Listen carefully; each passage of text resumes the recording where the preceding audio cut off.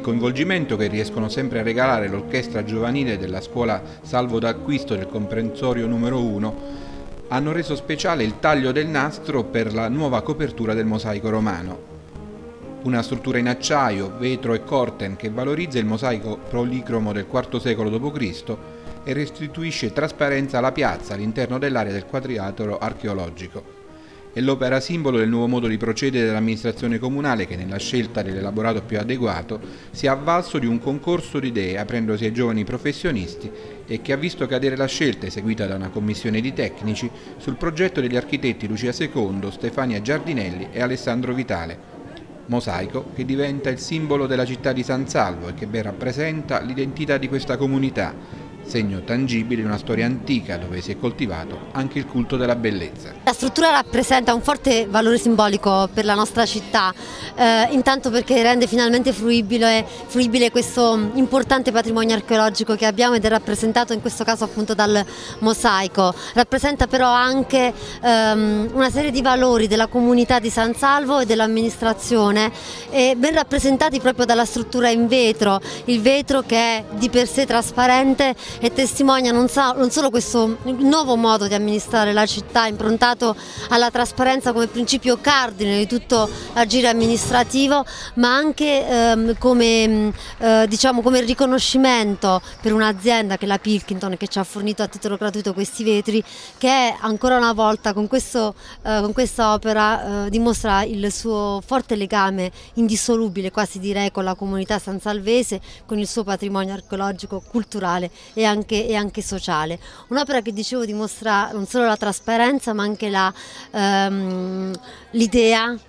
eh, concreta che si può e si deve riconoscere il merito perché questa è un'opera frutto di un concorso di idee che ha premiato, che ha visto partecipare tantissimi talenti da parte di, in ogni parte del territorio italiano e ha premiato giovanissimi, giovani architetti per fortuna abruzzesi e, mm, e quindi c'è stata una selezione pubblica aperta su tutto il territorio nazionale per la progettazione. Il progetto è stato, eh, la, tutti i progetti sono stati visionati ma il, eh, la graduatoria è stata redatta da una commissione di tecnici non scelti dalla politica, da nessun politico di turno, ma dall'ordine degli architetti e degli ingegneri di Chieti, una commissione in cui ha partecipato la sovrintendente dei beni archeologici d'Abruzzo, la professoressa Amalia Fausto Ferri, che io ringrazio per averci saputo consigliare, sostenere, aiutare a scegliere peraltro quella che è la soluzione che è riuscita a coniugare l'esigenza dell'amministrazione di, eh, di, gestione del patrimonio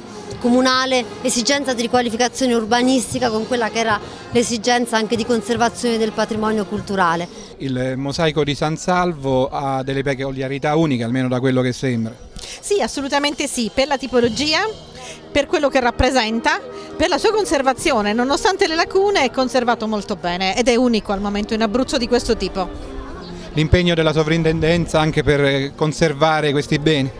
Allora, l'impegno della soprintendenza è quello di collaborare con il comune di San Salo che ha già fatto quest'opera egregia. Adesso il lavoro non è finito, però noi vi guideremo per completare diciamo, per il lifting di questo mosaico. Si è fatto il lifting della piazza, adesso si farà il lifting del mosaico, riempiendo, come dicevano i ragazzi che hanno lavorato, sono giovani studenti ma anche laureati già dell'Università di Chieti. Eh, loro hanno già preparato un progetto di base su quello, su quello che potrebbe diventare questo mosaico. Allora non ci resta che aspettare. Sì, però insomma bisogna organizzare come al solito con un po' di pazienza, un po' di tempo, ma ce la faremo anche questa volta.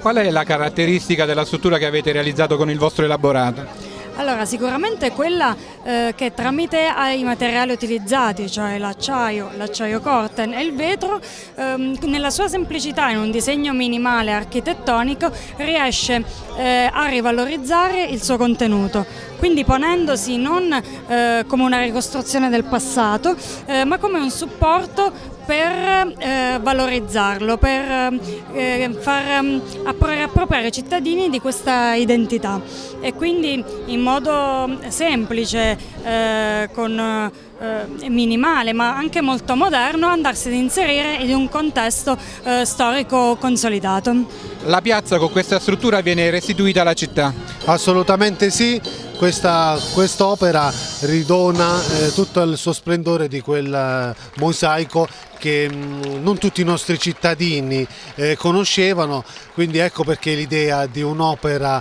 trasparente con il perimetro a vetro per eh, poter eh, donare la visibilità a tutti i nostri cittadini e non.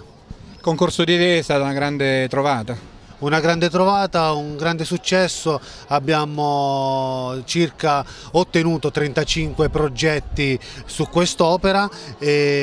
con una commissione eh, presa dall'albo del, degli ingegneri e de, degli architetti della nostra provincia abbiamo esaminato e questo è il, è il risultato finale di, mm, di, questo concorso di idee, il progetto primo classificato, abbiamo ricevuto circa 35 progetti, quindi siamo veramente eh, entusiasti eh, di aver effettuato quest'opera che era, un, era eh, inserita nel programma elettorale del nostro sindaco. Quest'opera con il mosaico romano sono certa che non solo simboleggia una serie di valori ehm, di questa città che ancora una volta dimostra la sua capacità di coniugare il nuovo eh, con l'antico la tradizione con il futuro, ma è testimonianza soprattutto eh, di una nuova, consapevole eh, modalità di agire dell'amministrazione comunale e sarà l'emblema della nostra città.